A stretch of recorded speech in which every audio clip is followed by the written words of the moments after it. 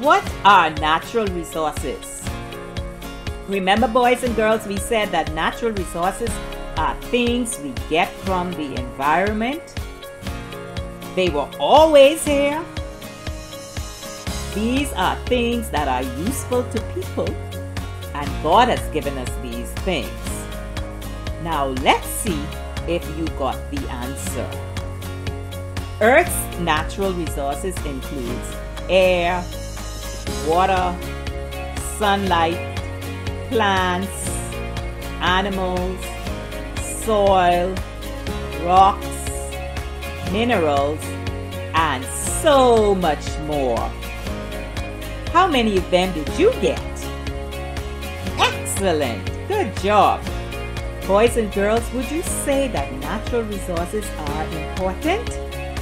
Absolutely they are!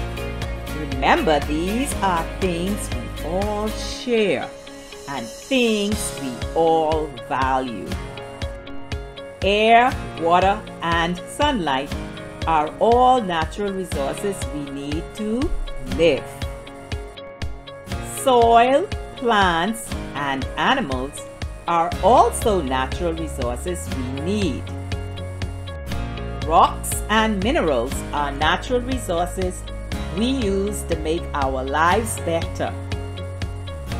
Boys and girls, do you know the difference between a rock and a mineral?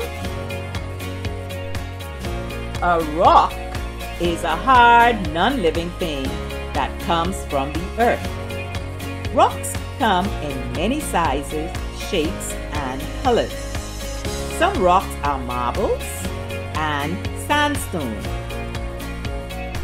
A mineral is one kind of non-living thing that is found in nature also. Minerals are usually found in rocks. That means we get minerals from rocks. Copper, iron, and diamonds are examples of minerals.